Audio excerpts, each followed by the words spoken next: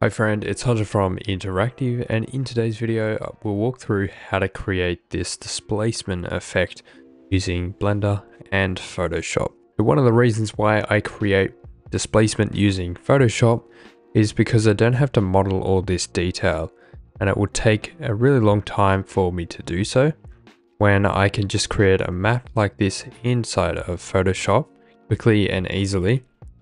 And I can also have the ability to change this depending on updates for clients. So let's say a client wants an update and they're saying that these spikes are too sharp on the edges.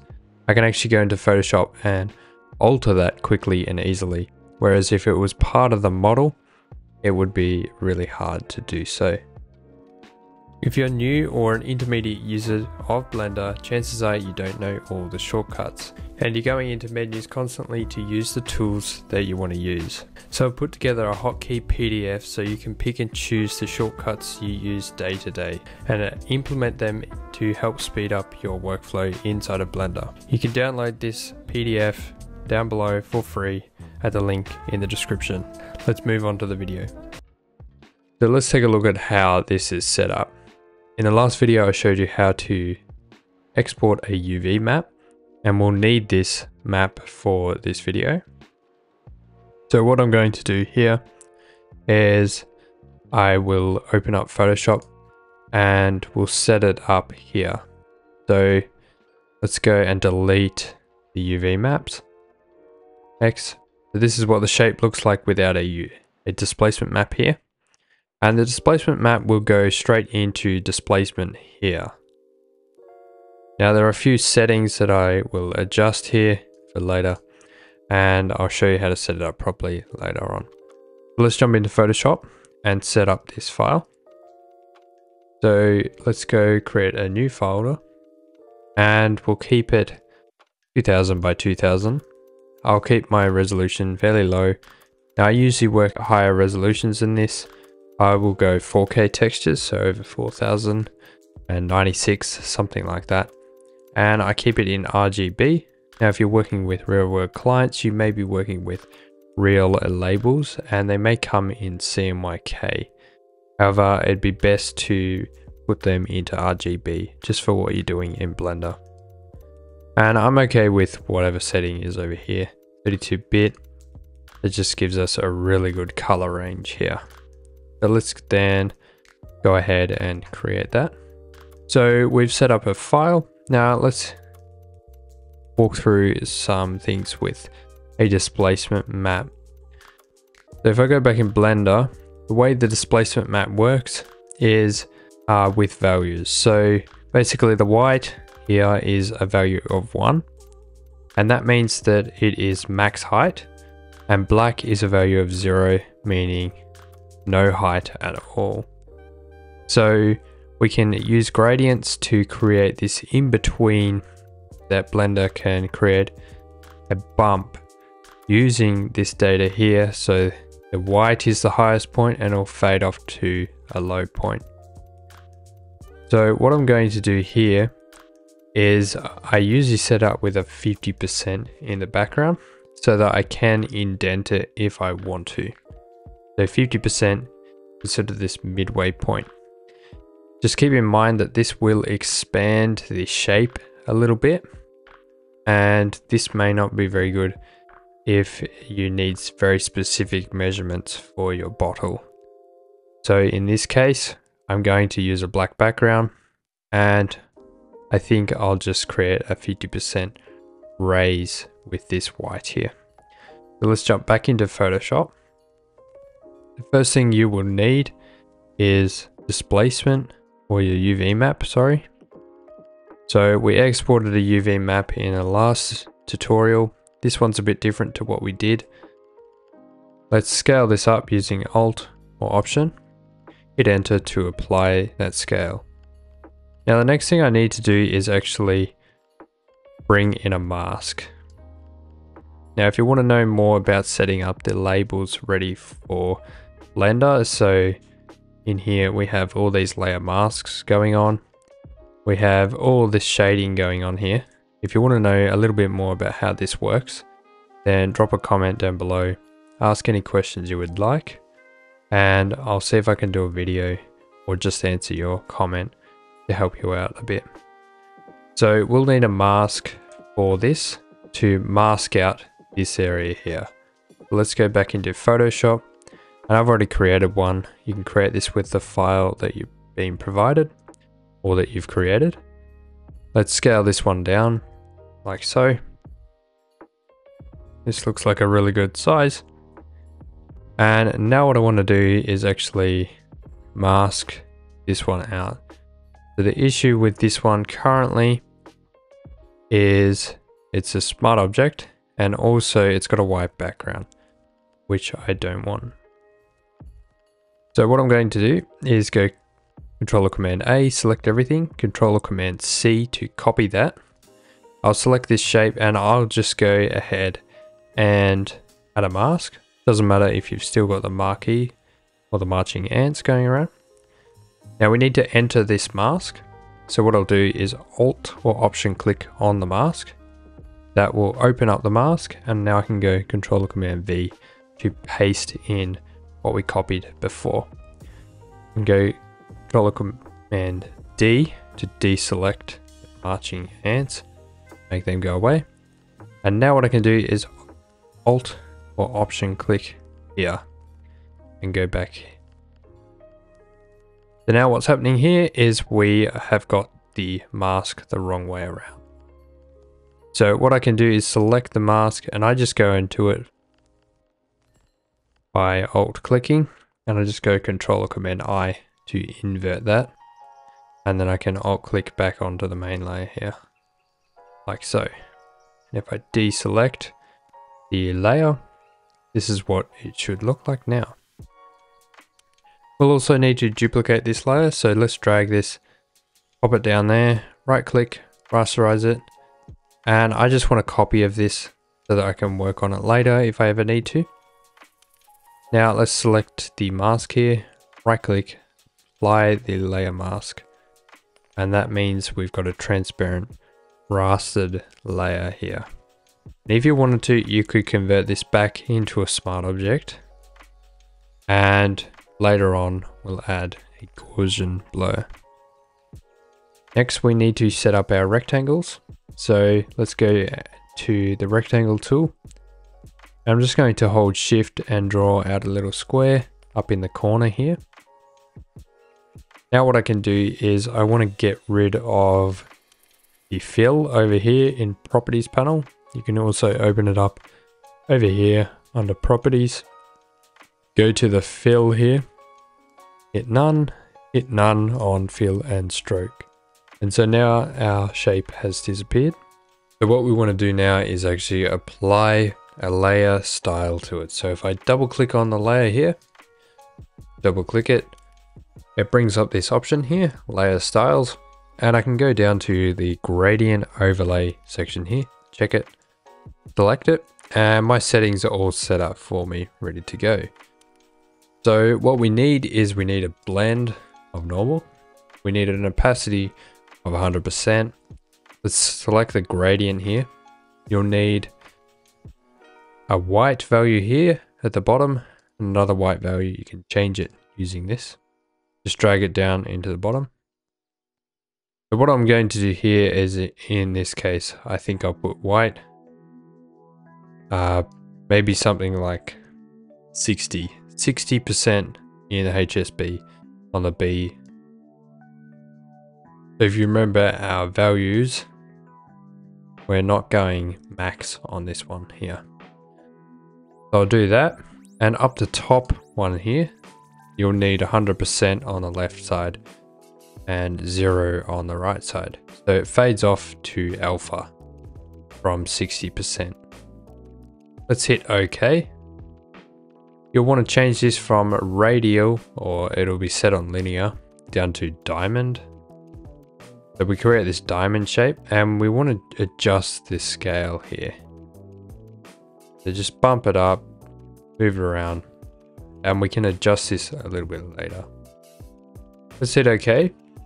Right click, convert that to a smart object. Now what I can do is group this. So I'll put this one in a group. We'll call this detail. Now, when we do this, we have to duplicate this a whole bunch of times. So I need to be able to see it. Let's hide that UV here. Alright, so before we start duplicating this, I need to change something here. So I need to add in an adjustment layer, a solid color adjustment layer. Let's drop this down to black. And it should be here somewhere. Gone to the group. Let's drop this down below everything. So now I can see this shape really well. So what I want to do now is actually start editing this. So I'm just going to select all these shapes here, hit the lock here. Let's select this one. We can go Control or Command J and start moving this. Now we want to make sure that we are snapping this correctly. So if I select both of these now, holding Shift, I can uh, duplicate these using Control or Command J but I'm just making sure to snap them all together. So now I can just select them like this. Drag it down. Now I do want my UVs turned on so I can see the layout I need to fill. And we'll just continue selecting everything, duplicating it, and making sure that it all gets snapped together correctly.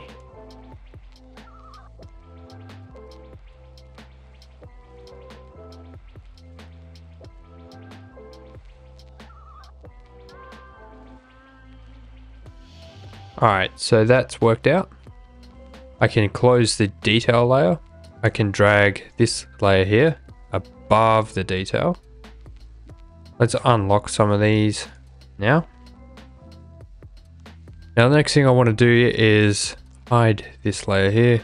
Let's add a filter Gaussian blur. And we'll take a look at this. I'll just scale it up to something like this. It's nice blur. Okay. Now the next thing I want to do is go inside here. So we've still got a shape here. And I want to blur this a little bit. So I am going to maybe duplicate this. Hide this one. We'll go filter, blur, Gaussian blur. I'll convert it to smart object. Let's add maybe two pixels. Hit OK. And I could also add a black layer behind this just to have a look, see what it's doing. So let's zoom in. So now I can really edit this. So I could say, maybe let's go 1.5. Let's save that now. And now what we can do is go file, save as on a computer. And I'm going to save it in here as a displacement map. Let's jump the number up. Also want to save it as a TIFF and this will just keep a heap of its detail so that I can work with it. So let's hit save. Hit OK. Now one issue I just realized is I've actually left the UV maps on. We don't need those. So let's turn that off and go We'll be able to just save that over straight over top with a TIFF. Just go Command S, save over. Let's open up Blender. Now in here, what we can do is a few things. So the first thing I want to do is Shift A, search, and I'll add in a UV map. Now I'll just go and grab the UV map here. And this is created automatically when you create a UV map inside of Blender. Next thing, Shift A, and we'll add in image texture. However, instead of doing this, I think I'm just going to grab, grab it and drag it straight in from our folder, just like this. And now I can plug in the UV here into the vector.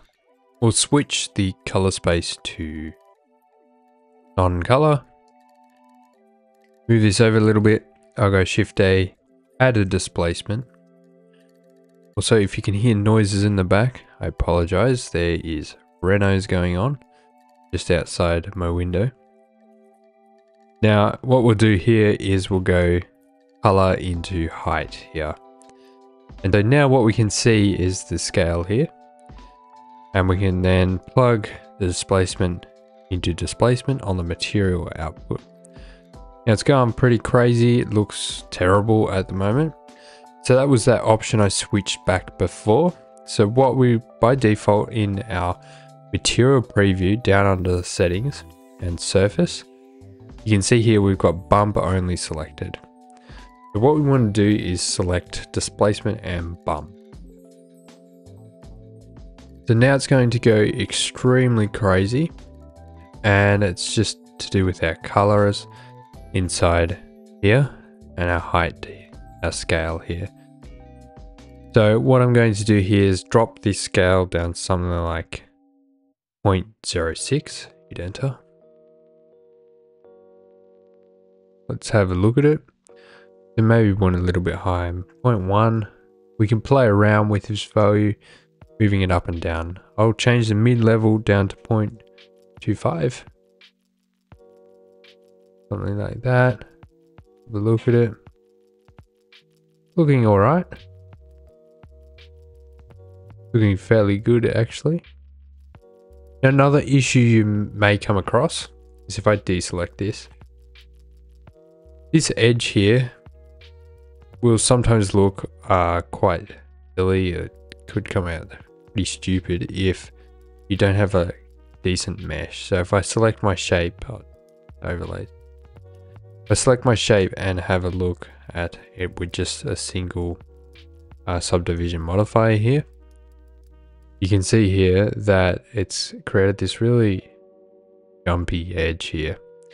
So what you want to do is actually add another modifier. You could bump this up. I just add another modifier on top of this, another subdivision, another display port, and render of two. And so that just helps clean it up a little bit. For render, you could really, if you really wanted to, push it really high, but you got to remember that you're adding a lot of geometry, which can add to render times, and also have the chance of exploding Blender. There's also a lot of other stuff in this file that's been set up, and obviously I would play around with this a lot more, try to get these looking really nice, and you can do that all in Photoshop. Just adjust, tweak, make this a little bit bigger. I'd probably make this uh, mask here bigger, only just because uh, I want a little bit of space around that label there. And you'd obviously set this all up in one Photoshop file so that you can export all the different layers quickly and easily inside of Photoshop for Blender. So you can see here there's a whole heap of other stuff going on in the background. You set up this label on the bottle and if you want to see or you want tutorials on this, just drop your questions down below. Just put them in the comments and I will try to make a tutorial on them or I'll answer your questions as best as I can. Alright, I hope this video was helpful and you're able to implement this into your Blender workflow. And until next time, I'll see you later.